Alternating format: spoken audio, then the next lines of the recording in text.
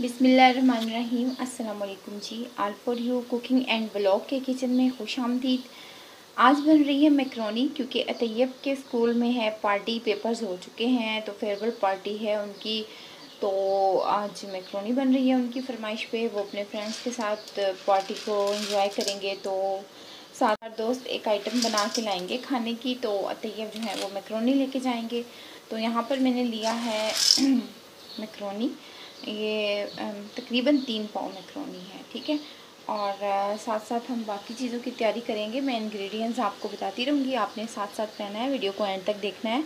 Like comment share लाजमी कर दे दीजिएगा ताकि मेरी हौसला अफजाई हो। नए आने वाले अगर उन्होंने सब्सक्राइब नहीं किया तो प्लीज़ सब्सक्राइब कर लें और बेल आइकन को भी प्रेस कर दें। बहुत ही आसान है बहुत ईजी है। आ, ताकि जब भी मैं वीडियो अपलोड करूँ नोटिफिकेशन आपको मिल जाए। एंड तक वीडियो को ज़रूर देखिएगा। तो यहाँ पर है मैक्रोनी मेरे पास और यहाँ मैंने रखा हुआ है पानी। एक डेचकी में बॉईल होने के लिए हसबी ज़रूरत पानी ले लिया है। ठीक है?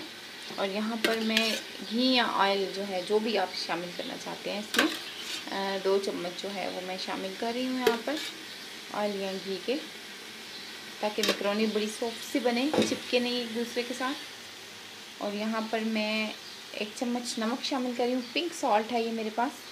आप भी पिंक सॉल्ट इस्तेमाल किया करें? और यहाँ पर जो है वो मैक्रोनी भी मैं शामिल कर देती हूँ। बिस्मिल्लाहिर्रहमानिर्रहीम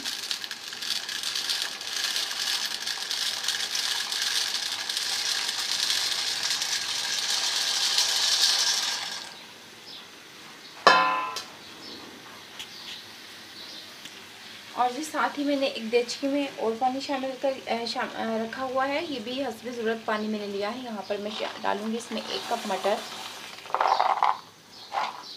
आप अपनी मर्ज़ी की क्वांटिटी में ले सकते हैं। और यहाँ पर आधा किलो चिकन बोनलेस में शामिल करूँगी।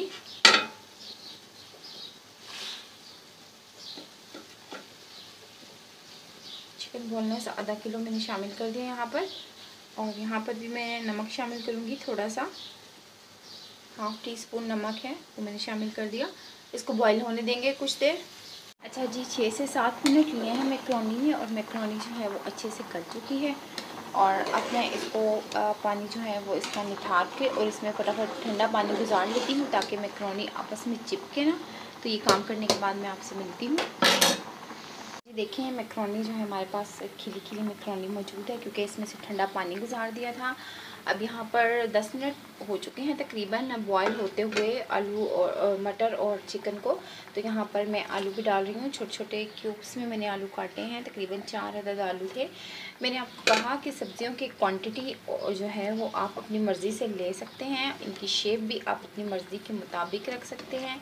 कोई मसला नहीं और सब्ज़ियाँ भी आप अपनी मर्ज़ी से ले सकते हैं। जो सब्ज़ियाँ आपको पसंद है, वो आप इसमें शामिल कर लें, कोई मसला नहीं है, ठीक है? ये तमाम आलू क्यूब्स की शक्ल में काट के मैंने यहाँ पर शामिल कर दिए हैं और यहाँ पर मैं इसको मिक्स कर देती हूँ। दूसरी बात, एक और अहम बात जो मैं आपको बताऊँ कि पानी आपने इतना लेना है जो सब्जियों में खुश्क हो जाए, क्योंकि ज़ाया नहीं करना हमने, ठीक है? सब्जियों की जो गजाइत है, उसको ज़ाया नहीं करना तो पानी मैंने इतना लिया था जिसमें तमाम सब्ज़ियाँ गल के और पानी खुश्क हो जाए, ठीक है? तो आगे बढ़ते हैं। अच्छा जी, यहाँ मैंने रखा है एक कढ़ाई में घी या ऑयल जो भी आप यूज़ करना चाहें, आधे कप के करीब। थोड़ा सा मैंने इसलिए ज़्यादा लिया है कि मैक्रोनी में थोड़ी चिकनाई आ जाएगी, थोड़ा अच्छा लगेगा। मैक्रोनी बहुत सॉफ्ट सी लगेगी। यहाँ पर एक खाने का चम्मच लहसुन, अदरक का पेस्ट मैं शामिल कर रही हूँ। ठीक है? इसको हम कुछ देर के लिए फ्राई कर लेते हैं। तो हो चुका है फ्राई लहसुन एक से डेढ़ मिनट मैंने इसको फ्राई किया है ताकि कच्ची स्मेल जो है इसकी, वो ख़त्म हो जाए। यहाँ पर मैं सॉल्ट डाल रही हूँ, एक चाय का चम्मच। आप अपनी मर्ज़ी से डाल सकते हैं इसमें। और, अब मैं इसमें शामिल करूँगी सब्ज़ियाँ। मटर और आलू जो हैं, ये बॉयल हो गए हैं तो मैं यहाँ पर शामिल कर देती हूँ उनको और चिकन जो था, उसके मैंने रेशे बना लिए थे निकाल कर ठीक है? तो इसको दो दो मिनट इसे फ्राई करते हैं और यहाँ पर देखें, मेरे पास है चिकन चिकन को मैंने रेशे रेशे से बना लिए हैं और यहाँ पर मेरे पास हैं शिमला मिर्चें और बंद गोभी क्वांटिटी और सब्ज़ियाँ जो हैं वो अपनी पसंद से ले सकते हैं। कटिंग भी अपनी पसंद से कर सकते हैं। मैंने क्यूब्स की शक्ल में काटी है। आप लंबाई में भी काट सकते हैं। बड़ी, छोटी, जैसे आपको अच्छी लगे आप वैसे काट सकते हैं। यहाँ पर मैं सोया सॉस शामिल कर रही हूँ थोड़ा सा। तकरीबन वन टेबल स्पून आप अपनी मर्ज़ी से कर सकते हैं, लेकिन बहुत ज़्यादा मत कीजिएगा। और यहाँ पर मैं डाल रही हूँ एक चाय का चम्मच चिली फ्लेक्स बहुत ज़बरदस्त टेस्ट देगी, बहुत अच्छा लुक आएगा। तो यहाँ पर जो है ना मैं चिली सॉस नहीं शामिल कर रही हूँ। मैंने यहाँ पर उसकी जगह चिली फ्लैक्स डाल दी हैं, कुटी हुई मिर्चें। जो कि बहुत अच्छा फ्लेवर लेके आएँगी। यहाँ पर मैं शिमला मिर्च और बंद गोभी भी शामिल कर रही हूँ। ठीक है? इससे भी जो है ये फ्राई हो जाएँगे साथ साथ। इसको इतना टाइम नहीं लगेगा। और साथ ही हम चिकन भी शामिल कर देते हैं। मकरोनी बहुत जल्दी बन जाती है, बहुत टाइम नहीं लगता इसमें। और बहुत मज़े की होती है स्पेशली बच्चों को तो बहुत ही पसंद होती है। तो इसको हम करेंगे पाँच से छः मिनट फ्राई मीडियम फ्लेम पर। साथ ही मैं थोड़ा सा सिरका भी शामिल कर रही हूँ। तकरीबन टू से थ्री टेबल स्पून सिरका मैंने इसमें शामिल किया। काली मिर्च शामिल करूँगी।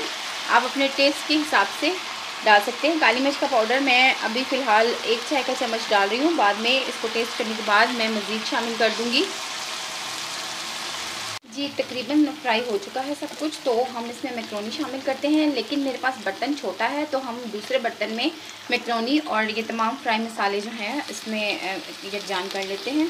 जी तो मैक्रोनी शामिल कर दी है मैंने, एक बड़े बर्तन में आपस में दोनों को मिला दिया है, अब मैंने चूल्हे पे इसी को रखा हुआ है अभी। और कुछ देर दो से तीन मिनट मैं इसको मज़ीद पकाऊँगी चूल्हे पे रख के। यहाँ पर आप काली मिर्ची और नमक जो है वो चेक कर सकते हैं। अगर आपको कम लगे तो आप ज़्यादा डाल सकते हैं अपनी मर्ज़ी के टेस्ट के मुताबिक। कुछ देर के बाद मैं आपको फ़ाइनल लुक दिखाती हूँ इसकी। अच्छा जी तो अल्हम्दुलिल्लाह मैक्रोनी हो गई है तैयार। तो हम इस पर डालते हैं कैचअप जितना आपने इस पर डालना है कैचअप आप कैचअप डाल लें थोड़ा सा। काली मिर्चें डालना चाहते हैं तो काली मिर्चें भी डाल सकते हैं और थोड़ा सा म्योनीस भी डाल लें तो अच्छा लगेगा। म्योनीस के साथ भी अच्छा लगता है, बहुत। तो आपको आज की रेसिपी कैसी लगी? अच्छी लगी तो प्लीज़ लाइक कमेंट शेयर लाजमी करें। चैनल को सब्सक्राइब करें। बेल आइकन को प्रेस कर दें ताकि जब भी वीडियो अपलोड करूँ तो उसका नोटिफिकेशन आपको मिल जाए। तो वीडियो को एंड तक देखने का बहुत बहुत शुक्रिया। अगली वीडियो तक के लिए इजाज़त दीजिए। अल्लाह हाफि